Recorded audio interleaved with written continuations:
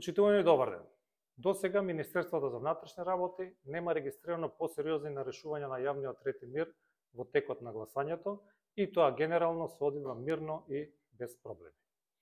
Од отварањето на гласачките места до 11 часот имаме добиено две пријави за оставен штант на политичка партија во близина на гласачко место на територија на Шуторизари, како и растурени летоци и залепени плакати на територија на Чаир, за што се преземаат мерки за расчистување на случаите.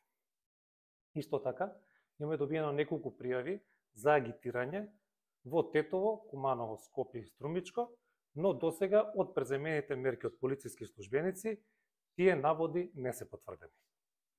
Апелирам до граѓаните и до учесниците во избирачкиот процес и во останатиот дел од денот да се воздржат од инциденти, а доколку има било какво нарушување на процесот, или на јавниот ред и мир, тоа да се пријави во најблиската полициска станица или на телефонските броеви 192 или 112. Ви благодарам.